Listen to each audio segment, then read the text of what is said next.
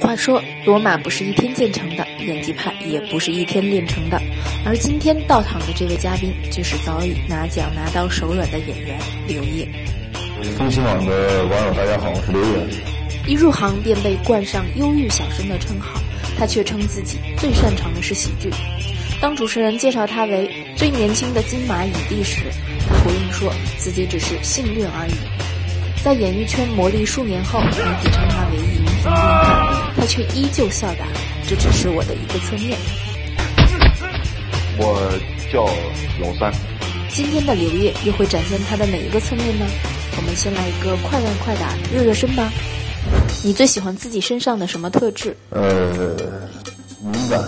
拍摄条件最艰苦的戏是哪部？为什么？王的春演很艰苦，八个多月。你最想塑造的角色和最不想塑造的角色是什么？最想塑造的是警察，最不想说的是大侠。当演员和导演有什么不同？导演要什么事儿都要操心，而且导演不能发脾气；演员更自由一些，什么事儿不用管，而且可以发脾气。你女儿的生日是哪天？呃，一月二十，一月二十二。还要想一个。最喜欢的歌是什么？呃，我想我是海。能唱两句吗？我想我是海，东风的大海，心情随风轻摆。你挑战最有难度的角色是哪个？蓝雨。对你最重要的人是谁？妈妈。你最喜欢的书是哪一本？叫《海上温度的生》。你最喜欢的演员是谁？格雷罗。你想对十年前的自己说什么？呃，继续保持十年前的样子，就保持那种没脑子、没脑子、不多思考的样子。最喜欢的演员是谁？您说的是德尼罗。嗯。为什么会喜欢？因为德尼罗是做到那种，呃，他个人魅力是完全融入到电影里了。他这个个人魅力不是那种，就是你知道，就是那种一说话的时候，哦，看人，你知道，他不是那种玩帅，这个角色魅力阶段他已经过了。然后我觉得那个是更高级，但他其实也在演角色，但他能用个人魅力去驾驭这角色，我觉得这个是特特别了不起。但是说个人魅力，我自己我这个我不敢用，因为对自己不自信。个人魅力，所以我只能靠角色去完成。没想到参演第一部电影就获得了金鸡奖提名的刘烨，还会对自己的人格魅力没有信心呢。如果我们乘着时光机去看一看大学二年级的刘烨，那时的他会不会正因为那山那人那狗而获得最佳男配角提名的事儿自鸣得意呢？九九年提名嘛，在那个沈阳一个酒店里办的。然后我记得当时我哪管那个呀？我记得当时就是早上去那个大酒店啊，五星级酒店，在楼下吃那自助自助餐。然后那会儿那个三文鱼还挺贵，你知道。咱们楼下自助餐随便吃，我就逮那贵的吃，你知道吗？那三明治吃得上火，我记得我记得这边一边起了个包还，然后旁边当时我记得就，哎，这不是林学院老师吗？哎呦，这不是那个谁谁谁吗？就身边全是就是排队的，就是把到的全是明星，你知道？你想当时一个在校学生，就当时我我我我提名也还是可以了。当时还正上学呢，哎呦，我当时就所以没想这个得不得奖这事儿，根根本没想。首次与最佳男主角失之交臂的刘烨，并没有因此与金鸡奖无缘。四年之后，他便凭借电影《美人草》一举获得金鸡奖最佳男主角的殊荣。你知道吗？你特别好看。而更让人津津乐道的却是，刘烨在2001年凭借关锦鹏导演的电影《蓝雨》，成为台湾金马奖最年轻的影帝。而这次的获奖，对于刘烨来说却是一个大大的意外。当时金马奖那年金马奖的时候，开始第一轮的这个提名没我，开始是周星驰、胡军和那个刘德华和郑伊健，但后来因为那个呃金马奖是华语片嘛，华语片奖它是它的华语片是不不可以配音的。但是周星驰的那个电影，呃，是配音的，然后就就换掉了，就把我顶上去了。当时也没也没觉得，就觉得这个事儿不可能。你本来你就顶上去的，你是替补，你跟人家原来那个你怎么争的？但是后来有人给我了，我还挺高兴的。但是你跟胡军是同一部电影，都是蓝雨，你们是一起去的吗？一块儿去的。那胡军会不会有点心理落差？说我的师弟。这事肯定有这事儿。颁奖之前那就什么事？哎，来来来，师哥来，他他问个师弟嘛，就完了，给我们喝啤酒啊什么的。但完了之后就肯定是，如果他他如果他是他当时得奖的话，我肯定也会很很很失落。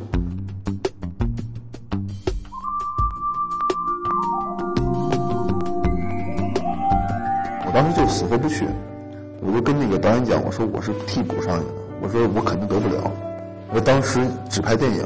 说了当时那个两千年的时候，一年的时候拍电影钱特别少，你知道，而且当时还要就赚钱给父母大部分，然后那个我知道那个西服挺贵的，买不起，买不起，我说我不去了，不去了。后来那个关导说，你既然提名了，你还要去见识见识。我后来我记得当时我当时我在那个雅环公司，我跟那个叫边总，我说能借点钱吗？他借给我，借给我带着去，我我都没舍得换。后来那个他们说那个说我穿了一身枯起的这个 一身衣裳，还戴着帽子，就是如果你得得奖了哈，就一直卖给你；如果没得奖，这身衣服就还给就还给他们。然后得了，当时就没觉得零一年得金马奖，零三年得金鸡奖嘛，觉得哎呦这事儿太简单了这事儿。当时就就就觉得反正也挺幸运，确实幸运，确实幸运，都那么早。翻看刘烨的履历，这个在刚刚步入演艺圈就频受肯定、获奖无数的青年演员，拥有的不仅仅是他自己口中谈到的那一丝运气，还有对于表演的那一丝灵气，而他的演技派实力，却也是靠着入行十四年来拍摄的八十余部影视剧一一打造的。我曾好奇，一个站在金马奖最佳男主角起点的青年演员，为何还会有一年的时间同时拍摄四五部戏的拼搏精神时？他骨子里潜在的危机感给了我答案。最多一年拍九部，五部电影，四部电视。那会儿是零三年，当时不踏实，心里心里还紧张，因为零一年得的金马奖嘛，而且题材是同志题材，而在国内是那个电影没有上。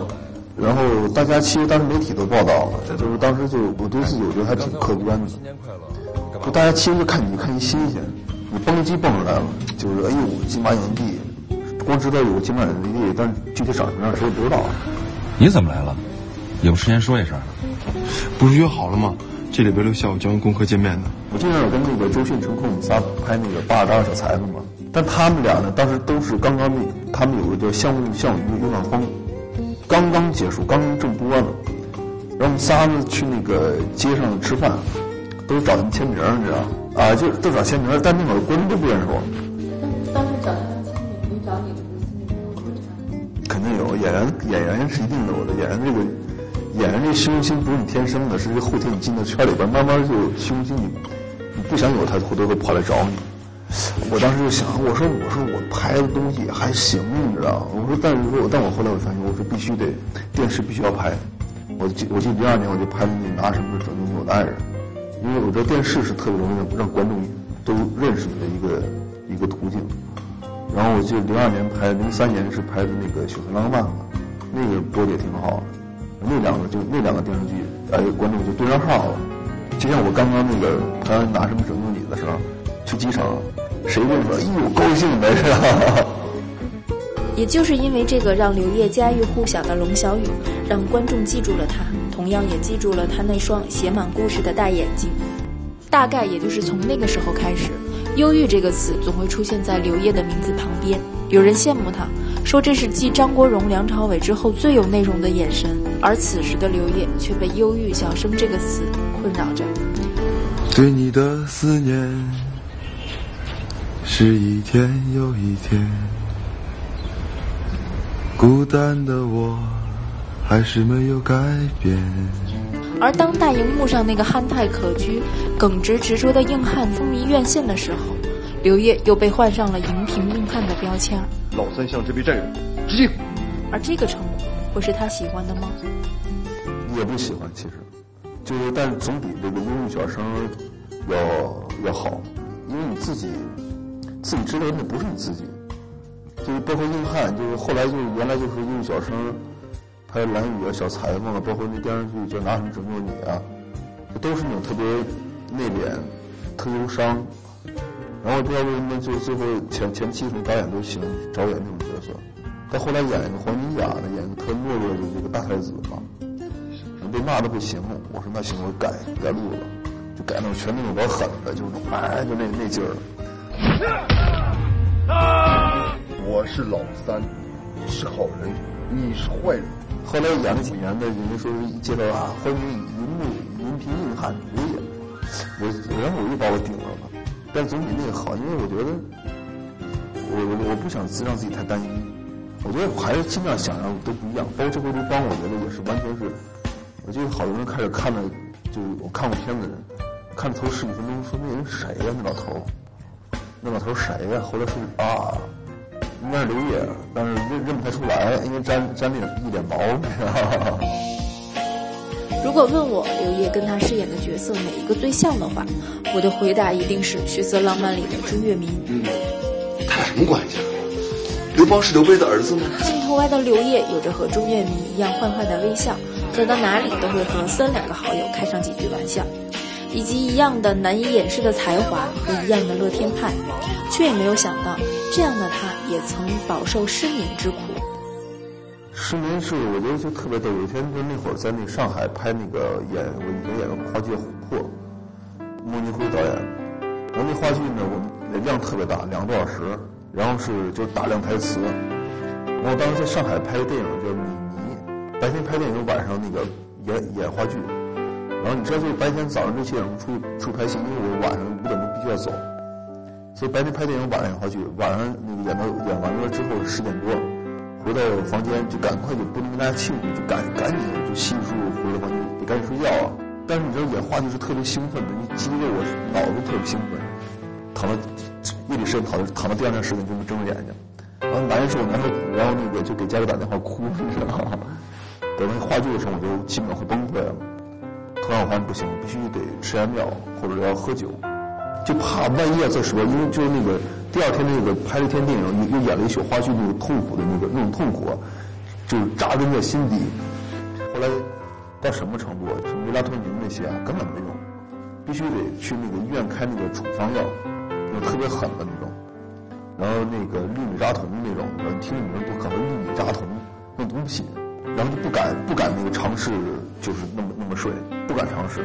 然后慢慢慢慢慢就习惯了，习惯就是说你没事的时候，就是可能有那个。药物依赖，就是或者是当时说不喝不喝喝酒的话也睡不着，当时反正尽量调整呗。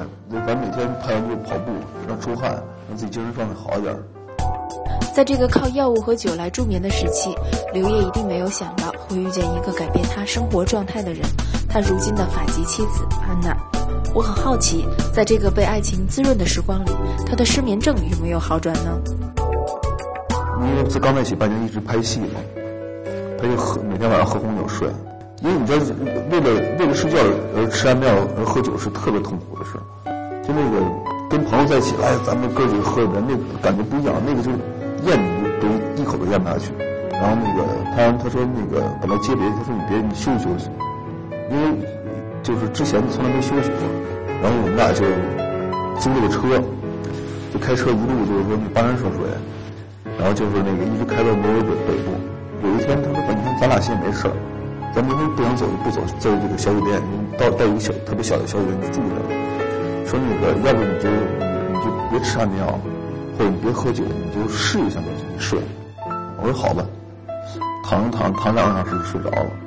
因为有了一次，哎呦，这高兴坏了，你知道多激动？你知道，当你就是对身边的人是最激动，能睡着觉，特别激动。然后慢慢的，他就慢慢说：“你第二天你再试试。”慢慢慢慢慢慢慢，哎，就可以睡了。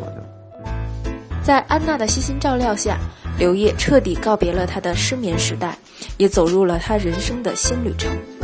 二零一零年，刘烨和安娜举办了一个中西合并的完美婚礼，幸福写满了二人的面庞，也照进了他们的生活里。如今也已是儿女双全的四口之家，而安娜也用法国人特有的浪漫，潜移默化地影响着刘烨对于生活的态度。